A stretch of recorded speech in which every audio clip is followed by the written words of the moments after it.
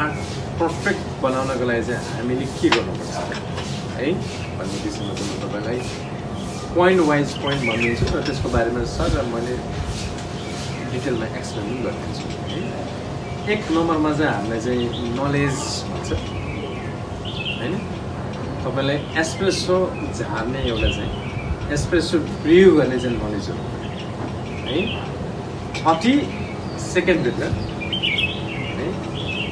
Twenty फाइभदेखि thirty सेकेन्डभित्र thirty एमएलको एस्प्रेसो झार्ने तपाईँलाई चाहिँ त्यो ठ्याक्कै एक्ज्याक्ट टाइम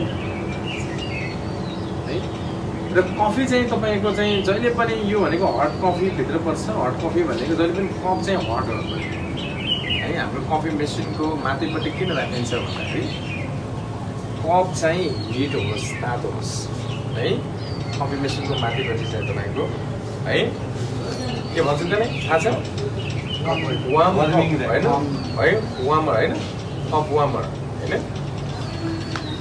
भनेको मतलब कपलाई चाहिँ वार्म गर्नको लागि चाहिँ त्यो माथि राख्ने कारण त्यो हो है? त्यसमा चाहिँ हामीले जहिले पनि कुनै पनि कफी बनाउन अगाडि चाहिँ हामीले कप चाहिँ जहिले चेक गर्छौँ है? हेड छ कि छैन हेड छैन भने तातो पानी चाहिँ झार्ने तातो पानी चाहिँ यसो within five second ten second त्यसलाई तताउने हामीले है? अब तपाईँ मिल्कलाई चाहिँ फ्रोथिङ गर्ने टेक्स्टिङ गर्ने। है मिल्कलाई चाहिँ के गर्ने चाहिँ हाम्रो? स्टिम वानको माध्यमबाट है त्यसलाई फर्म निकाल्ने। है त्यो चाहिँ हामी गर्छौँ। डेन्जर पनि हुन्छ त्यो तातो पनि हुन्छ त्यो समाउनु त्यो रबर छ रबरमा समाउनु पर्ने हुन्छ। धेरै कुरा it's everything you must learn है।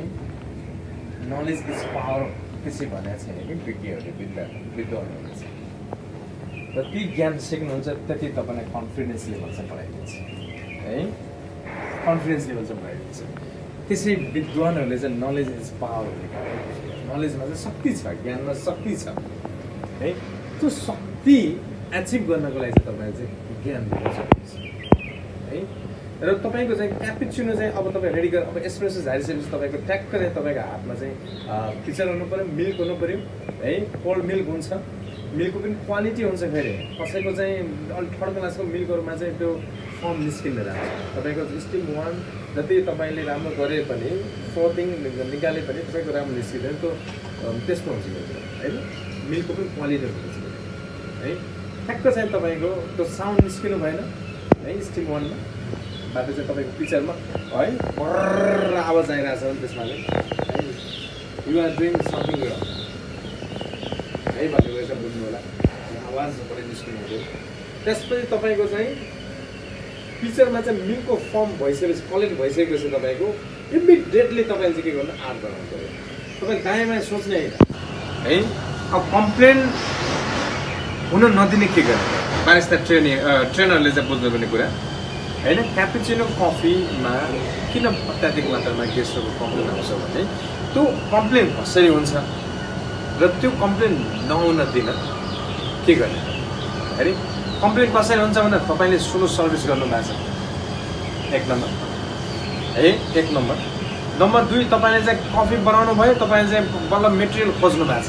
होइन? हेर्नुहोस् है स्पुन कहाँ छ भन्ने खोज्नु भएको छ। है कफी टेबलमा रेडी भएर बसेको छ। होइन? सुगर खोज्नु भएको छ दायाँ बायाँ भेटाउनुहुन्न। होइन? ट्रे खोज्नु भएको छ भेटाउनुहुन्न गर्दा गर्दा कफी के भयो तपाईँको सेलाइसकेको छ अनि तपाईँको त फर्म आँट पनि फुट्दै फुट्दै जान्छ अनि त्यसपछि गेस्टलाई गएर लगिदिनुहुन्छ लगिदिएर गेस्टलाई यसो सुगर हालेपछि यसो खाना खानेपछि यसो भइसक्यो। के हुन्छ? एङ्ग्री हुनुहुन्छ। है?